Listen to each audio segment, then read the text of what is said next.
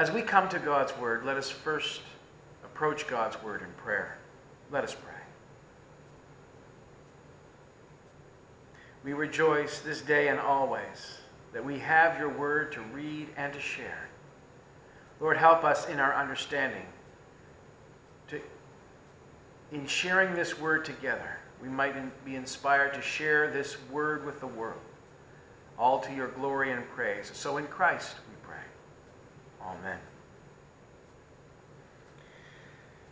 Our reading is from Psalm 93. The Lord reigneth, he is clothed with majesty. The Lord is clothed with strength, wherewith he hath girded himself. The world also is established, that it cannot be moved. The throne is established of old. Thou art from everlasting.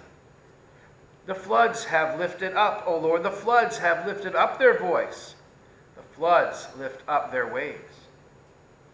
The Lord on high is mightier than the noise of many waters, yea, than the mighty waves of the sea.